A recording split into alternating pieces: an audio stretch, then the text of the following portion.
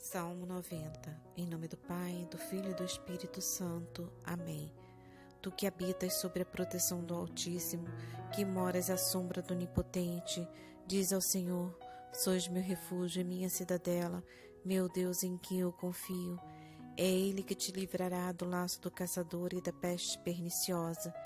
Ele te cobrirá com suas plumas, sobre suas asas encontrarás refúgio. Sua fidelidade te será um escudo de proteção. Tu não temerás os terrores noturnos, nem a flecha que voa à luz do dia, nem a peste que se propaga nas trevas, nem o mal que graça ao meio-dia. Caiam mil homens à tua esquerda e dez mil à tua direita, tu não serás atingido.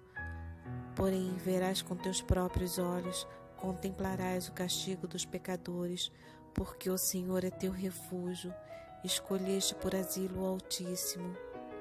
Nenhum mal te atingirá, nenhum flagelo chegará à tua tenda, porque aos seus anjos ele mandou que te guardem em todos os seus caminhos.